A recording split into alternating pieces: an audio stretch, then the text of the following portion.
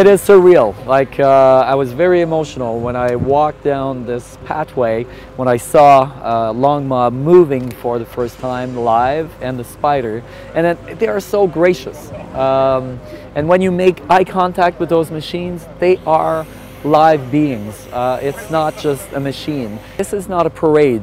Uh, it's not about lining up along streets and walk, seeing them walk by.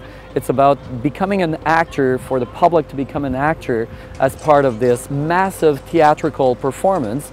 And we will use the streets of Ottawa in, uh, and transform them into pretty much the theatrical stage. You will be able to get close. You will be able to touch the leg of the machine, to feel the uh, when the spider throws venom and snow at the dragon, you will feel it. You will get a bit of it on your skin. You will feel the heat of the dragon when it's breathing fire.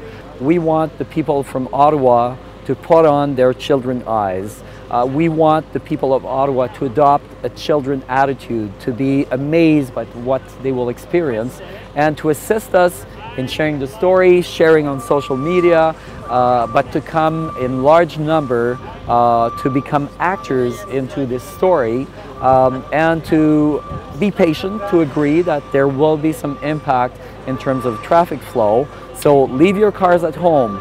Take advantage of the OC Transpo special pass on the Saturday and Sunday.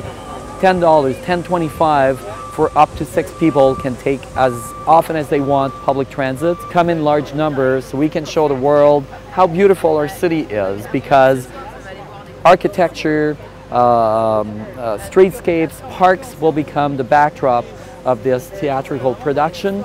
And for us, it's a way of repositioning Ottawa, presenting a more gutsy, edgy, amusing, modern, dynamic, vibrant image for our city.